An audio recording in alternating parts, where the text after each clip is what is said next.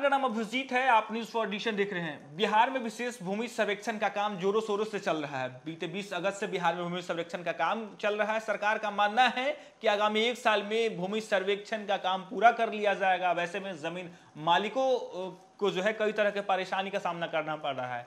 बिहार से कई लोग बिहार से बाहर रहते हैं रोजी रोटी को लेकर काम धंधा को लेकर बिहार से दूसरे प्रदेशों में काम करते हैं। वैसे में उन्हें अब चिंता नौकरी के साथ आ रही है, क्योंकि बिहार में जब भूमि सर्वेक्षण का काम हो रहा है तो नौकरी पेशा छोड़कर जो है दूसरे प्रदेशों से बिहार में आ रहे हैं और बिहार में भूमि सर्वेक्षण में शामिल हो रहे हैं। लेकिन दूसरी तरफ़ उनकी रोजी रोटी यानी काम की चिंता हो रही है कि जब वो बिहार में रहेंगे, बिहार में सर्वेक्षण के दौरान उन्हें शामिल होना ज़रूरी है, तब ऐसे में दूसरे प्रदेशों में जब वो नौकरी करते हैं तो उन्हें नौकरी खत्म होने का जो है खतरा बरकरार बीस अगस्त से ज़मीन सर्वेक्षण जारी है। जो लोग के लिए नई परेशानी बन गई है, बाहर रहने वाले जो बाहर रहकर नौकरी, पेशा और रोज़गार करने वाले थे, लोग ज़मीन सर्वे कराने के लिए अपना काम धंधा छोड़कर हर दिन बड़ी संख्या में गाँव लौट रहे हैं।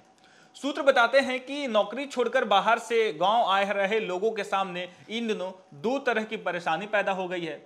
लोगों का एक तरफ़ गाँव छोड़ छोड़ने पर ज़मीन अपनी नाम नहीं होने का डर सता रहा है तो वहीं दूसरी तरफ़ टाइम पर ड्यूटी नहीं लौटने पर नौकरी का खतरा सता रहा है। यानी जो बाहर से, यानी दूसरे प्रदेशों में जो नौकरी करते थे, दूसरी तरफ़ यदि वो बिहार नहीं आते, ज़मीन सर्वे में शामिल नहीं होते हैं तो उन्हें ज़मीन जाने की डर है। तो वहीं दूसरी, ज़मीन सर्वेक्षण में आए लोगों को ये डर है कि अब समय पर वो ड्यूटी नहीं जाएँगे, समय पर वो अपना काम धंधा नहीं करेंगे तो उनकी नौकरी चली जाएगी। कार्य के लिए एलपीसी अद्यतन भूमि की लगान, रसीद, खातियान समेत तमाम कागजात जुटाने और दुरुस्त कराने में लोगों का पसीना छूट रहा है।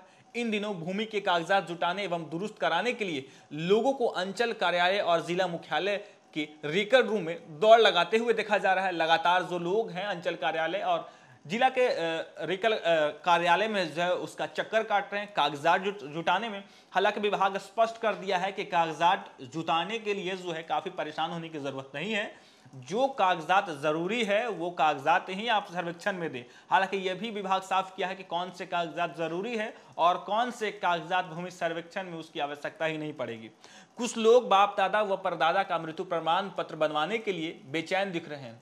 सूत्र की माने तो पारिवारिक भूमि के कागजात की उलझन ऐसी उलझी हुई है कि उसे ठीक कराने में लोगों की काफ़ी परेशानी हो रही है। भूमि सर्वेक्षण कार्य को लेकर इन दिनों बहन बुआ की अहमियत बढ़ गई है। सरकार ने भूमि सर्वेक्षण के लिए वंशावली बनवाने का निर्देश दिया है। प्रशासनिक सूत्रों की माने तो वंशावली पर परिवार के सदस्यों के साथ साथ बहन और बुआ का नाम भी दर्ज करना अनिवार्य है। यह भी कहा जा रहा है कि बहन बुआ अगर इस बात की एनओसी दे देंगी कि हमें भाई बाप की ज़मीन से कोई मतलब नहीं है तो वह भूमि उनके मायके वालों के नाम पर सर्वे में दर्ज हो जाएगी। ऐसे में बंसावली पर एनओसी के लिए बहन बुआ के पास भी लोग दौड़ लगा रहे हैं। भूमि सर्वेक्षण में खातियान के लिए इन दिनों लोगों की भारी भीड़ रिकॉर्ड रूम के बाहर दिखाई दे रही है।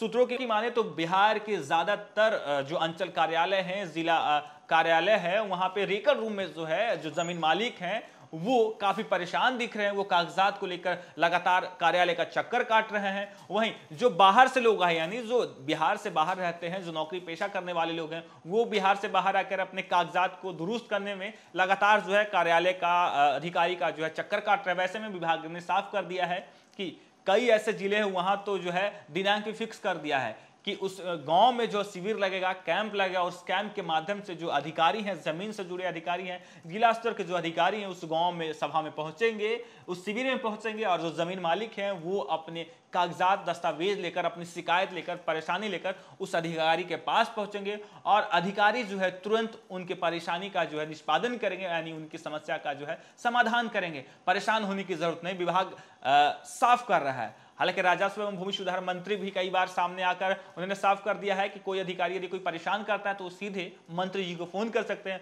और उन्होंने अधिकारी को भी साफ़ निर्देश दिया है कि यदि कोई ज़मीन मालिक आपके पास कोई समस्या लेकर आए तो मर्यादा पूर्वक उनकी समस्या का समाधान करे। तो वहीं दूसरी तरफ़ बिहार में एक बड़ी समस्या रोज़गार को लेकर है, जो लोग रोज़गार के लिए बिहार से दूसरे प्रदेशों में काम धंधा करते थे, रोजी रोटी के लिए बिहार से दूसरे प्रदेशों में जाते थे, वो अब ज़मीन सर्वे के लिए बिहार पहुँच गए हैं और इस ज़मीन सर्वे में उन्हें काफ़ी परेशानी हो रही कागज़ बनवाने में। अब ऐसे में उनकी सबसे बड़ी परेशानी ये बन चुकी है कि जब भूमि सर्वेक्षण में कागजों को लेकर इतनी परेशानी हो रही है लगातार, उन्हें कार्यालय का जो है चक्कर काटना पड़ रहा है, तब उनकी नौकरी जाने की डर सता रही है। फ़िलहाल के लिए इतना ही, आप देखते रहिए न्यूज़ फॉर नेशन